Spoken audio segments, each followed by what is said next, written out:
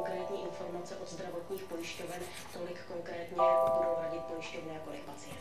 Na mnoha místech to půjde nejdřív za týden a to samé platí i pro možnost připlatit si za lepší sádru. V této chvíli my si musíme říct přesně, jaké spektrum toho To jsou spuštěnost s velkou pravděpodobností od příštího týdne.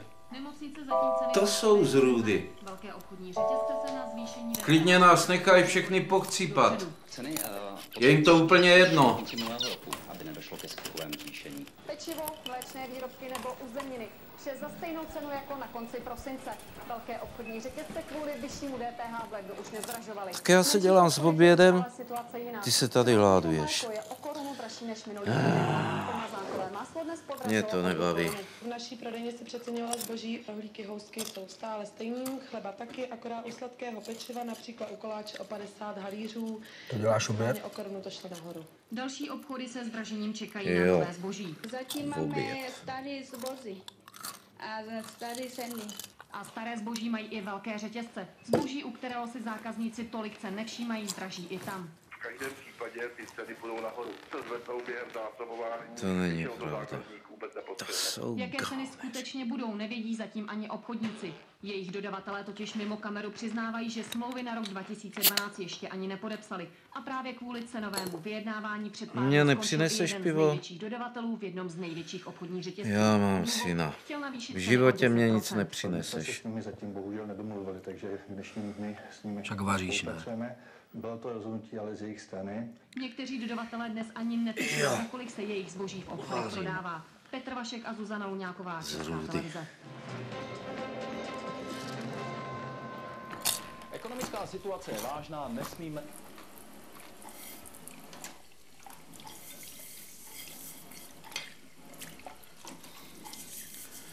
Aspoň jednou, kdybys uměl podlahu v předsíni. Aspoň to, jak se teď tahá bláto zvenku. Je to všude. Kdyby žila maminka, tak by z toho neměla radost. Musíš mě trochu pomáhat. Prší. Prosím tě, nenič mě.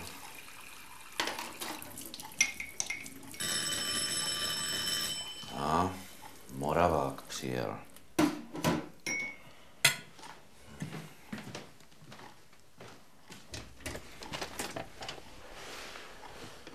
No, nazdar, bratře. Zdár. Vítaj. Co zouváme se? Jasně, že se zoubáme. Prosím tě, pust. Nešťáci. Ahoj. Ahoj. Vyšší DPH za léky, potraviny, nealkoholické nápoje nebo městskou hromadnou dopravu. Naplno začaly platit vládní reformy. Zatímco cena jídla se moc nezměnila, za medicamenty utratí lidi víc. Bez ohledu na to, že 30-korunový poplatek už se nevztahuje na každou předepsanou položku, ale na celý recept. Tisíce pacientů, kteří mají problém s vysokým krevním tlakem nebo Normálně se mě vyhodila na chodník. nepříjemné překvapení. Vypakovala mě jak malýho kluka. Za každou položku na receptu zaplatí za léky víc. Léku na snížení krevního Jak? tlaku na léčbu schizofrenie Vyhodila. došlo k poklesu Jak vyhodila? Normálně vyhodila. O několik desítek korun Na ulici. měsíční léčbu. Takže se dá říct, že eh, to navýšení úhrady Ze dne na den jsem byl na 50 dražbě. korun V na Brodě. Podražili přitom i všechny léky, které si lidé můžou koupit i bez receptu, a to v průměru o Kde? 4%. Třeba tento lék na lepší prokrvení C, který stál ještě v pátek 313 korun, je teď o No 12 jak kde? dražší. V Brodě. On neví, kde je Brod, brácho. 100% na pacienty. Ale ví. Víš přece, kde je Brod, ne? Uherský. Jak jsme jezdili s maminkou.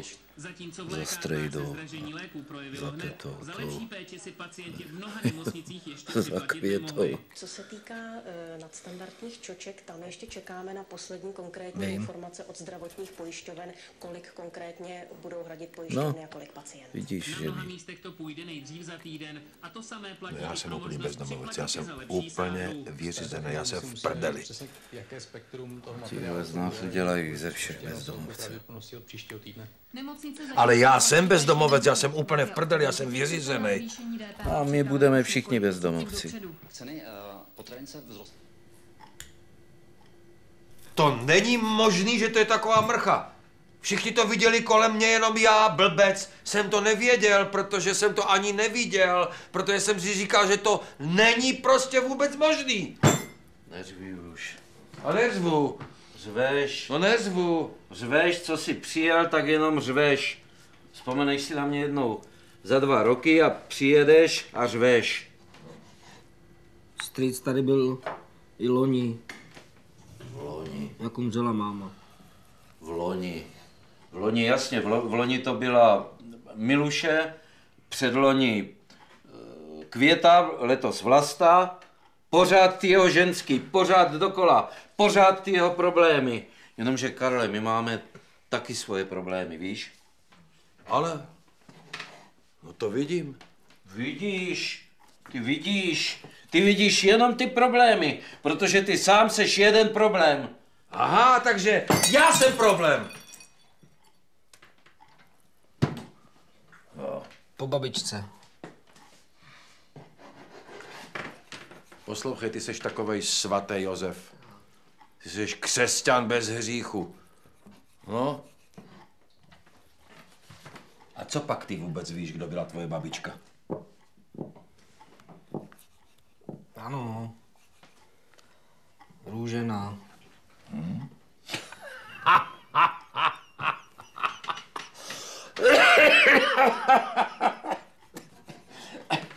No to jsi mu řekl určitě ty, že jo?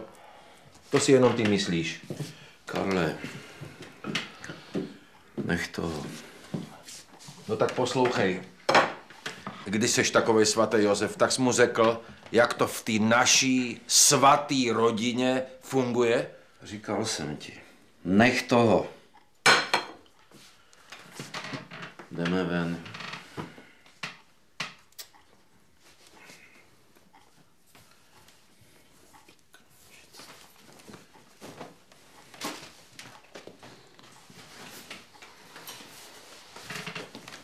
Kam?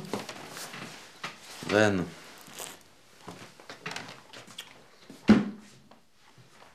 No ven.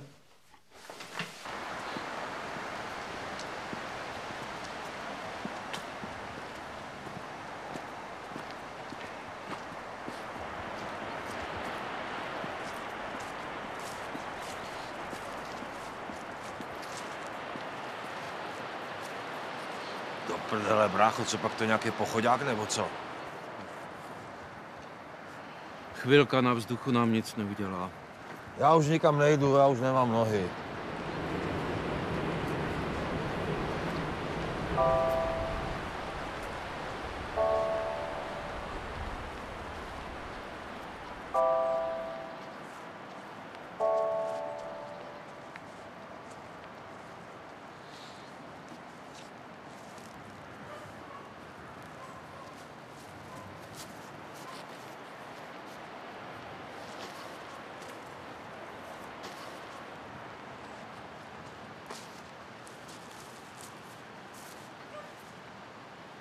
Co tam je, Vašku? Co tam je? Já nevím. Něco ze stromku nebo co?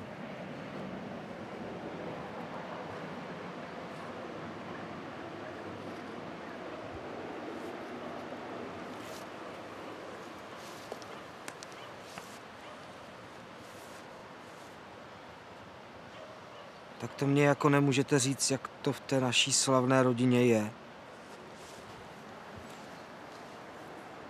Vidíš? On dokonce řekl celou větu. Hm. Vašku, ty se musíš trošku prosazovat. Ty nemůžeš být pořád poslední. Život nečeká. Ale prosím tě, on se umí prosadit. Jenom k tomu nepotřebuje tolik žvanit jako ty. Ale on se tě na něco ptal. A ty nejsi schopen mu to říct. Ty mu to nemůžeš prostě vysvětlit, nebo co? Rozumíš to? Ty seš totiž takový ten křesťan. Ty nemáš na to ty křesťanský koule, abys mu to řekl. Ty děláš nej permanentně vola. Prosím tě, bratře, drž hubu.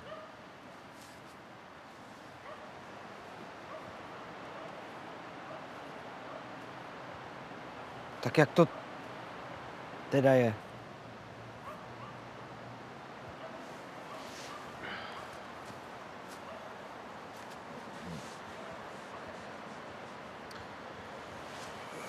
No tak podívej. Tvoje matka, budíš ji země lehká,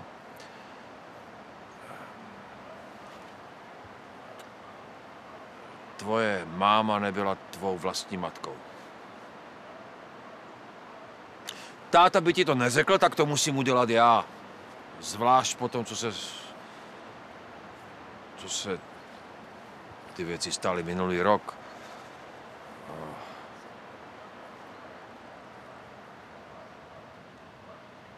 Ale někdo ti to říct musí. Víď, Pepo? Słyszysz?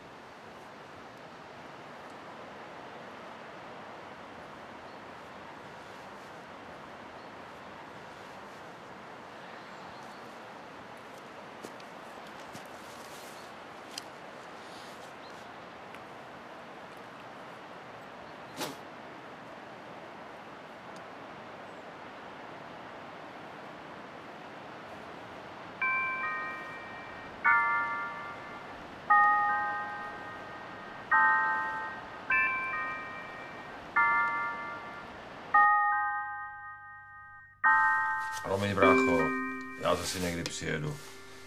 To zvládnete. Zdar, mladý.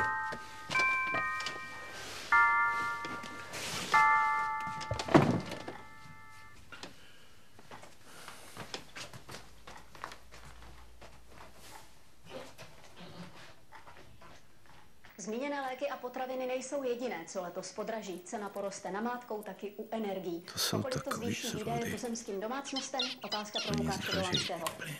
Hezký dobrý večer. Ano, bohužel je to tak. Už od ledna musí lidé platit víc za teplo, plyn a elektřinu. Ale pojďme se podívat, jak je to přesně nejdřív k elektřině.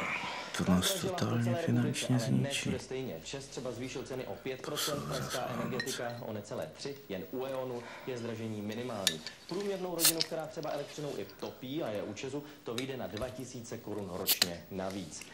Pojďme se podívat na plyn. Třeba RVE zdražila v prosinci a to o celých 9%. Průměrná rodina zaplatí o 240 korun měsíčně navíc, což znamená 3000 koruny ročně. Nyní motoristé, protože ti, co ještě nemají dálniční známku, si ji musí koupit a vylepit na auto nejpozději do konce ledna. Oproti loňskému roku si připlatí 300 korun. Dobrá zpráva pro rodiny, tedy alespoň ty pro rodiny s dětmi, vláda zdražování kompenzuje, slevy na dítě. A to přesně o 1800 korun